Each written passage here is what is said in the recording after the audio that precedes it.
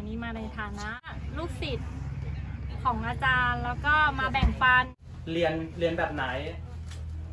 พี่เขาก็เลยแนะนำให้ผมไปที่บางตะไนแล้วก็ไปเรียนในโครงการหนึ่งไร่หนึ่งแสนนะครับ ก็เป็นวิชาให้ผมนั้นได้กลับมาอยู่ที่บ้าน ก่อนกลับมาแฟนก็ยังทำงานอยู่ ส่วนตัวผมก็ยังเปิดบริษัทอยู่ พอผมเรียนจบปุ๊บ ผมก็บอกให้แฟนผมน่ะลาออกเลยพรุ่งนี้ไม่ต้องไปแล้ว กลับบ้านเลย หักดิบเลยไง ผมก็ทิ้งบริษัทผมไปเลยนะครับ ผมก็ไม่ได้วิ่งงานอะไรต่อเลย เก็บข้าวของทุกชิ้น ทุกส่วนทุกอย่างที่มีกลับบ้านหมด พ่อกับแม่ก็ยังบอกเลยว่า กลับมาบ้านนะไม่อายเขาเหรอ ผมคิดในใจว่า เอ๊ะกลับบ้านมาเราต้องอายใคร วิถีที่เราได้ทำกันมาในตลอด1ปี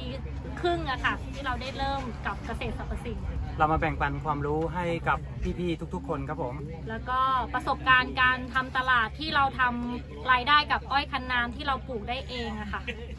ก่อนหน้านั้นที่เราไปสัมภาษณ์เนี่ย ค่ะ ตอนนั้นมีมียอดขายต่อเดือนเท่าไหร่ ตอนนั้นยอดขายต่อเดือนอยู่ที่4ี่หมื่นห้าหมื่นบาทตอนนี้ แต่ว่ายังยังเป็นอ้อยที่ช่วงนั้นก็คือระหว่างที่เราทำแปลงปลูกเราก็คือเออรับรับอ้อยจากผลผลิตของพี่รุ่นพี่มาจำหน่าย แต่ในในในตอนนี้ค่ะจะเป็นอ้อยที่เราทำด้วยตัวเองค่ะ เป็นแปลงของเราเองครับเป็นแปลงที่ที่เราปลูกเองดูแลเองบำรุงเองมาโดยตลอดครับผมค่ะตอนนี้เรามีอ้อยในระบบเฉพาะของเรานี้ค่ะเพียงพอไหมเยอะเท่าไหร่ ตอนนี้สามสามไร่ประมาณ3ไร่ครับหนึ่งหนึ่งพันกอ1,000กอครับหนึ่งพันกอก็ค่ะโอ้โหเยอะพอสมควรนะค่ะใช่ครับพอพอที่จะขาย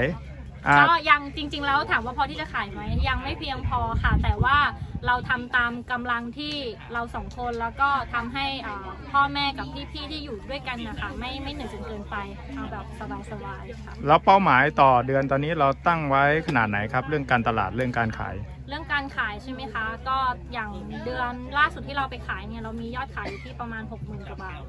เราอืมมีการคาดหวัง แต่เราก็ไม่ได้เอ่อ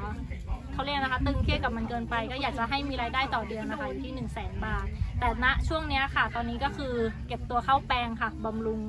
บำรุงอ้อย ก็คือหลังจากการที่เราไปขาย 10 วันใช่ไหมครับ ค่ะก็เหลือเวลา ใช้อ้อย 20 วันเราก็ใช้เวลาตรงนั้นมาบำรุงแล้วก็ดูแลในแปลงอ้อยของเราครับผม ค่ะ คือสุดท้ายนะครับทางแฟนเพจเขาก็ถามมานะ ค่ะแล้วก็ตอนนี้ คือตัวเลขคนตกงานเนี่ยเป็นน่าตกใจมากนะครับ ใช่ไหมเยอะมากนะครับ ค่ะ ก็อยากจะบอกท่านที่เผื่ออยากจะกลับบ้านแล้วก็ไม่อยากเข้ากรุงเทพอีกแล้วนะครับ ให้ทั้งสองท่านน่ะฝากไปถึงแฟนเพจหน่อยครับ สำสำหรับมุมมอง ความคิดของส่วนตัวของฝนเองนะคะ แล้วก็ฝนเองเดิมทีก็บ่อยทีนะคะ เป็นคนกรุงเทพแล้วก็ตอนนี้ก็หลงรักในวิถีของอชาวต่างจังหวัดแล้วก็ที่กำแพงเพชรโดยโดยที่เรากลับมาใช้ชีวิตแบบใช้วิถีเกษตรจริง ๆ เต็มตัวค่ะ อยากจะให้พี่ๆทุกๆท่านนะคะ ถ้าเราไม่มีหนทางไหนเลย ขอให้คิดถึงบ้านค่ะสำหรับพวกพี่ๆที่อยู่ต่างต่างถิ่นต่างต่างแดนนะคะ คิดถึงบ้านแล้วก็กลับมาหาครอบครัวมาหาพ่อแม่ค่ะมาตั้งหลักนะคะ แล้วก็ลองค่ะ ลองลองกล้าที่จะเปลี่ยนความคิด จากความคิดที่เราคิดว่ามันทำไม่ได้ ขอแค่เชื่อว่าเราทำได้ แล้วก็ตั้งใจลงมือทำกับมันโดยที่ไม่ต้องมีความคิดอะไรค่ะ ปล่อยสมองตัวตัวสมองเราให้มันว่างไปเลยค่ะ แล้วก็